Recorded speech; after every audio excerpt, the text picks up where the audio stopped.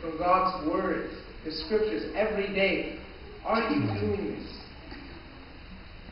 I know that a lot of these things I'm saying, everyone in this, in this ward I've learned is perfect at. But for the for the one or two people who I pray might learn and be able to feel the Spirit as I ask these questions, they might change, that they might want to do these simple things, this prayer, every day. Because I know that Heavenly Father wants to hear your words and your deep uh, concerns and everything that you want to be uh, guided in your life, all the